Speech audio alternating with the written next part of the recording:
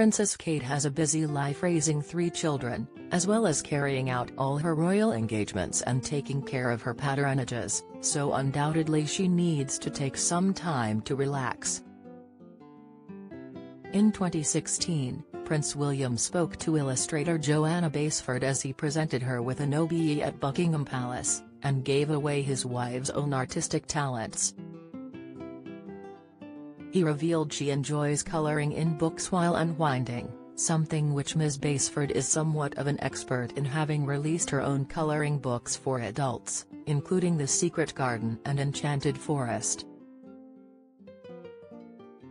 Having studied art history at St Andrews University, where she first met William, Kate is known to have a passion for the subject.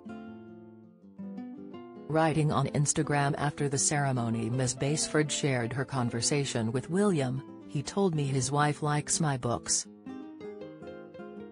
She colors. Kate is one of us.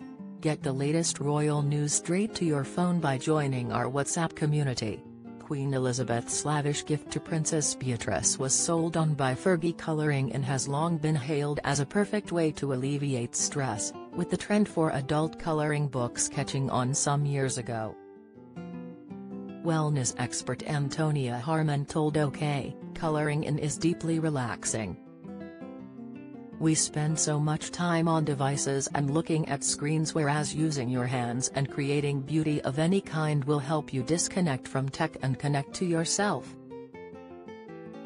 Kate is clearly interested in art having studied history of art at university so this coloring no doubt helps her connect to her passion for art and beauty. Don't miss. Meghan Markle and Prince Harry's empire crumbling into the ground, exclusive, Hollywood celebs stay away from Harry and Meghan over fears of trustworthiness, reveal, Meghan and Harry want different things according to expert as Split denied. Spotlight, the princess' passion for art is not just limited to drawing though, as she has often demonstrated her keen interest in photography too. Every year on her children's birthdays she releases a new portrait of each of them, generally of a more personal nature than most posed royal pictures. Last weekend the royals shared a new picture of the handsome young Prince George, who turned 10 on July 22.